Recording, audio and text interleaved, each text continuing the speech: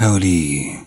This is just a warning to the younger men out there who may not know the score. You're out in the evening and you meet a female. She's quite fun to be with. You have a few drinks with her. You get on really well. Near the end of the evening, you end up going back to your place or her place and you have consensual sex. Sounds quite normal and a lot of fun. But the next day, the female can call the police and say she was raped. She has no real proof, but the police will come and they will arrest the man and charge him with rape. And the man will be put in prison. Actually, she can do it a week after, or there's no real time limit, actually, I don't think. How's them apples, guys?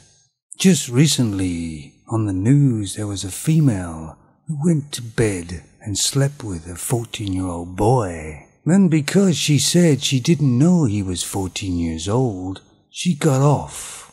Of course, there was a lot of tears. Can you see that happening with a man? Females with makeup and clothes can disguise their age very well. So, for those young men out there, be very, very careful. It's a minefield for a man. And if you think females have remorse for sending a man to prison because a female doesn't want to take responsibility for her own actions, I mean, she's just a child even though she may be 24 years old. They will have no care for your predicament. They will move on to the next man. Your best solution, young men, is not to bother at all. Of course, being young men, it's in your DNA to be attracted to the female and to want to have sex with them.